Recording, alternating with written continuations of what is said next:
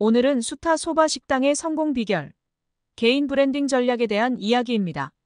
수타 소바 하면 무엇이 가장 먼저 떠오르시나요? 아마도 사람마다 떠오르는 이미지가 조금씩 다를 것입니다. 이처럼 다양한 이미지를 내 식당만큼은 특별한 것으로 만드는 것이 개인 브랜딩 전략입니다. 어떤 이는 보통의 국수로 생각할 수도 있고 또 어떤 이는 숙련된 장인을 떠올릴 수도 있습니다. 이 중 가장 긍정적인 이미지를 부각시키고 각인시키는 것이 식당 브랜딩의 핵심 과제입니다. 수타 소바 식당이 주목해야 할 포인트는 바로 이 부분입니다. 손님이 처음 식당을 방문했을 때의 첫인상은 매우 중요합니다. 이 첫인상을 어떻게 만들어낼지 고민해보면 자연스럽게 식당의 개인 브랜딩화하는 해답에 도달하게 됩니다. 효과적인 방법 중 하나는 메밀면을 만들기 위한 도구와 공간을 손님들이 볼 수 있게 배치하는 것입니다. 이를 통해 손님들의 호기심을 자극하고 수타면의 전통과 역사에 대한 자연스러운 관심을 유도할 수 있습니다. 수제면을 제작하는 도구 하나하나에 담긴 이야기가 있습니다. 이러한 진정성 있는 스토리는 국수를 좋아하는 사람들의 흥미를 끌기에 충분합니다. 억지로 꾸며낸 이야기가 아닌 수백 년의 역사 속에서 자연스럽게 형성된 진실한 이야기야말로 고객들의 마음을 사로잡을 수 있는 강력한 도구가 됩니다. 수타소바 식당의 매력은 현대적인 요소와 전통적인 요소의 절묘한 조화에 있습니다. 식당의 전반적인 인테리어는 현대적일 수 있지만 전통적인 소바 제작 과정은 클래식한 매력을 지니고 있습니다. 이렇게 서로 다른 두 세계가 만나 독특한 분위기를 연출하게 됩니다. 특히 재면실의 모습은 그 자체만으로도 식당에 특별한 매력을 더해줍니다. 현대적인 공간 속에 자리 잡은 전통적인 재면, 도구와 기술은 고객들의 시선을 사로잡을 수 있습니다. 이러한 이질적인 요소들의 조화는 차분하면서도 흥미로운 실내 분위기를 만들어냅니다. 고객들은 현대적인 편안함 속에서 전통의 깊이를 경험할 수 있게 되어 특별하고 기억에 남는 식사 경험을 할 수 있게 됩니다.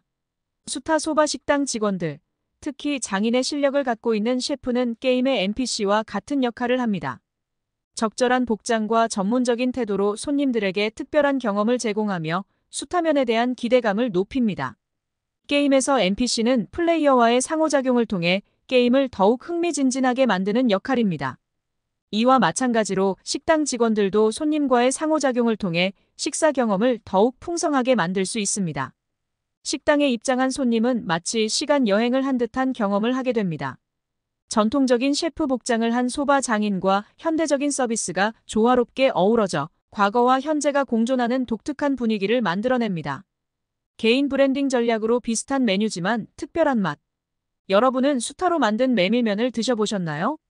비슷해 보이는 음식이지만 그 맛의 차이를 인지하는 순간 놀라움을 경험하게 됩니다. 이는 지금까지 먹어왔던 메밀국수와는 전혀 다른 차원의 맛이기 때문입니다.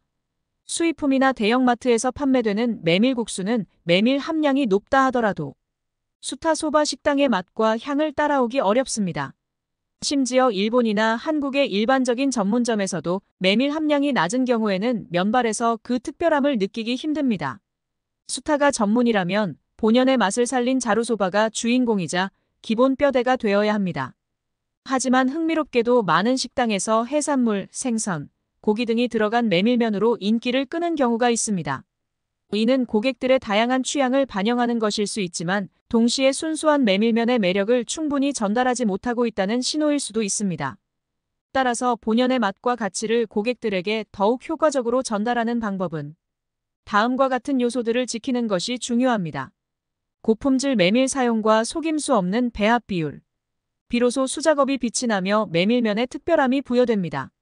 자루소바 순수한 메밀국수의 키워드가 주력 메뉴로 기본기에 충실하면서 강점이 됩니다. 실력을 쌓지 않으면 제자 등과의 협업도 요원하며 화려한 고명으로 치장할 수밖에 없습니다.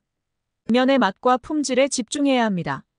이는 장기적으로 식당의 평판을 높이고 프랜차이즈화의 가능성도 열어줍니다. 수타 소바 식당의 성공적인 개인 브랜딩 전략은 단순히 한 가지 요소에 집중하는 것으로는 모자랍니다. 음식의 품질, 서비스, 분위기, 마케팅, 세무 등 다양한 측면을 종합적으로 고려하고 지속적으로 개선해 나가는 것이 중요합니다.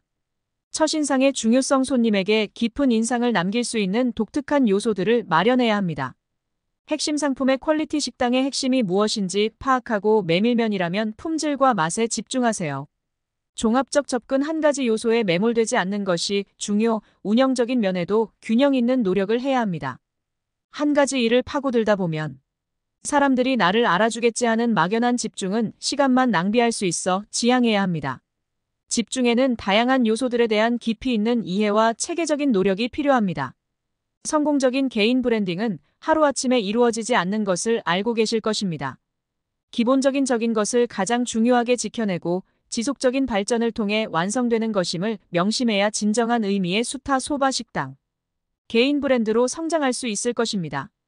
오늘은 여기까지입니다. 소바 강사 키리안이었습니다. 감사합니다.